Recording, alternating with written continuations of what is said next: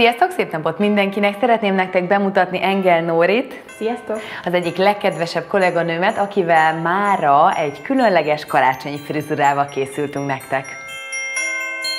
Egy laza, félig felfogott, félig kiengedett frizurára gondoltam a mai napra, amit úgy fogok kezdeni, hogy itt a középső részt szépen hátra fésülöm, Mondanám, hogy megtupírozom, ha az én hajamról lenne szó, de ebben az esetben Nórinak fantasztikusan sok egészséges és vastag szárú haja van, szóval neki nem kell tupírozni, úgyhogy csak annyit fogok tenni, hogy egyet csavarintok rajta, egy picikét így meglazítom és letűzöm majd. Ez lesz az első lépés.